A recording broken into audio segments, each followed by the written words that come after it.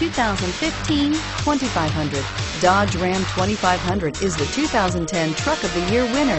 It is the hardest working truck in tow business and is priced below $40,000. This vehicle has less than 30,000 miles. Here are some of this vehicle's great options. Traction control, stability control, keyless entry, anti-lock braking system, tow hitch, Bluetooth, adjustable steering wheel, power steering, driver airbag, four-wheel drive. This beauty is sure to make you the talk of the neighborhood. So call or drop in for a test drive today.